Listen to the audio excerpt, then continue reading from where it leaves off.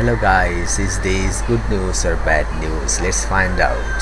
The government is introducing an online registration system for tourists those who are willing to travel to St. Martin's Island. This is to save the island for the future, for its prospect. St. Martin is visited by over 4,000 tourists every day and this is not good for the overall situation of the island.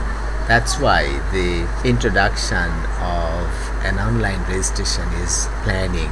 It's going to allow only 1250 tourists every day and those who want to go there from abroad they can confirm that they have well registered. DOE said people all over the world who are willing to visit the island will be able to confirm their registration online.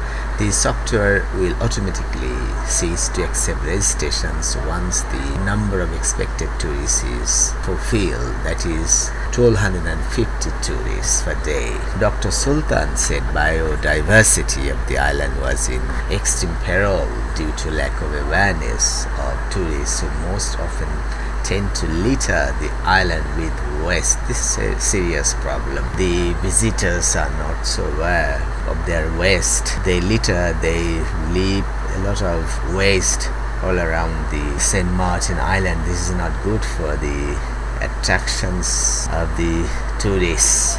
That is why we also plan to set up an information center. So along with the registration software, an information center will be also set up in the island.